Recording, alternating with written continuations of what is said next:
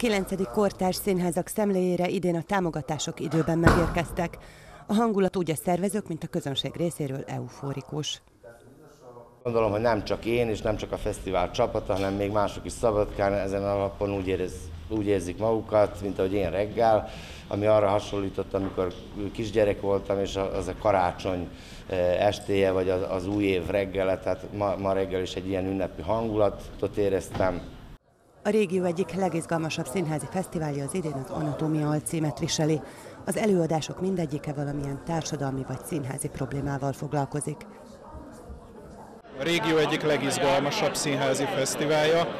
Milyen várakozásokkal? Hát nem tudom, igazából a Dezirében én azt szeretem a legjobban, hogy azok az előadások tudják a legnagyobb meglepetést okozni, amikre egyáltalán nem készülök.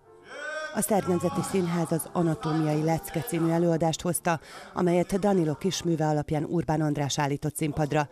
Ezután következett a Kosztolányi Dezső Színház bemutatója a Nadrágba bújt felhő, amit Kokám Ladénovics rendezett.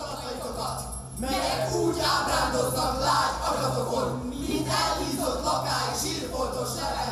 levelő. Oblaku pantalonama može znači nemati ništa u pantalonama, nemati, imati luft u pantalonama, nemati, nemati hrabrost da se uhvatite u koštac sa, sa svim devijacijama ovoga našega vremena, njih ima nažalost tako puno.